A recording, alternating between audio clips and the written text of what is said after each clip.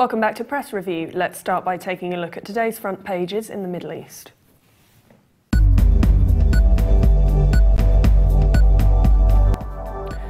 Starting in Israel, where Jerusalem Post leads its front page, reporting that Israel will not release a fourth batch of 26 Palestinian security prisoners on Saturday, as stipulated under the framework deal that led to the renewal of negotiations last July.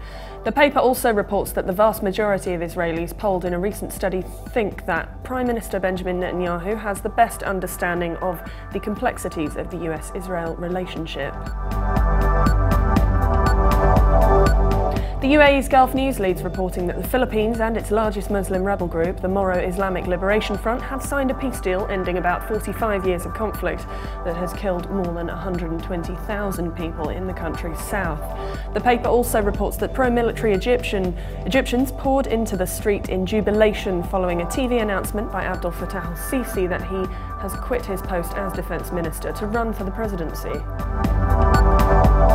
From Saudi Arabia, the Arab News reports that the kingdom's second deputy premier, Prince Mukrin bin Abdulaziz, has been named deputy crown prince, thus being second in line to succeed the king.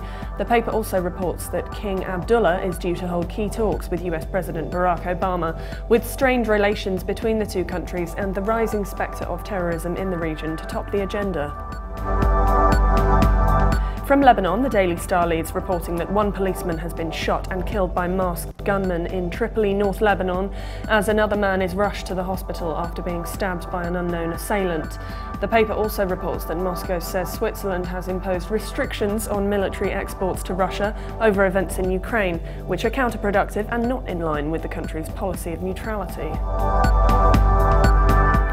Egypt Independent leads reporting that the cabinet has decided to demolish the building of Mubarak's National Democratic Party and annex the premise of the garden of the Egyptian Museum in accordance with Article 49 of the 2014 Constitution that obliges the state to preserve artifacts.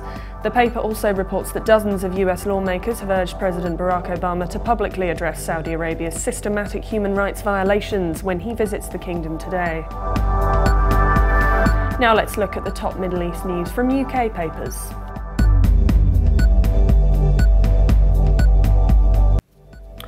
The Independent leads its Middle East section reporting that the Middle East peace process appeared to be slipping into an even more critical condition after Israel delayed its fourth and final tranche of agreed prisoner release that have been long awaited by Palestinians.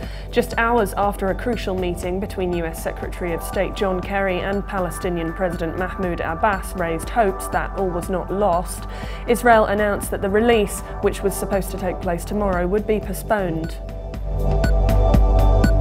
The Guardian leads its Middle East section reporting that US President Barack Obama is due to arrive in Riyadh today seeking rapprochement with an aggrieved Arab ally whose interests are increasingly at odds with its key Western backer.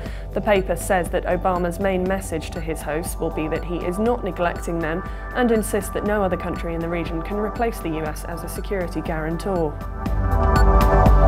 And the Telegraph leads its Middle East section reporting that Syria is launching a new airline, planning to fly to destinations across the Middle East and further afield, despite the ongoing civil war in the country. Kinder Airlines, a private company, is planning to launch its fleet in May, flying out of Damascus International Airport and the coastal city of Latakia, whose province has seen intensive fighting in recent days. Now let's take a look at the top Middle East news in today's international papers. The Los Angeles Times leads its Middle East section reporting that as the Syrian civil war enters its fourth year, the rebels are clearly losing. The paper says unlikely as it once seemed and as unpalatable as it may be to US policymakers and their allies, President Assad could well end up the sole Middle East leader to remain in power after coming under threat from the so-called Arab Spring revolts.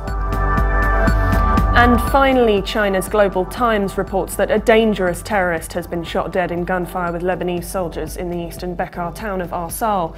Sami al-Atrash was wanted by Lebanese security forces for preparing car bombs, firing rockets and mortars and kidnapping citizens.